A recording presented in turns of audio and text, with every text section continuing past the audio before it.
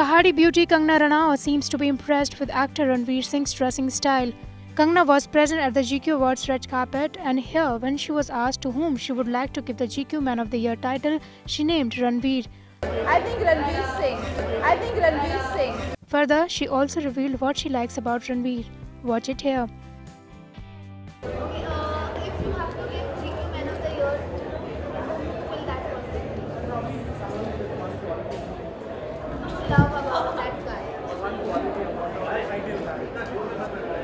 I think this year should go to our Prime Minister, Mr. Modi.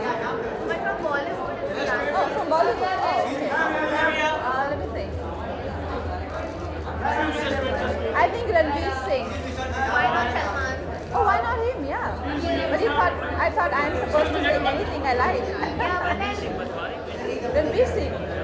I don't know. There's something so fresh about him. So refreshing.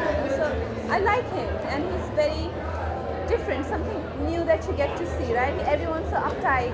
Everyone's so predictable, and here's the guy who just absolutely go by his impulse, an outsider, like a complete outsider. So uh, this year, I think I'd uh, love to give it to Ranveer.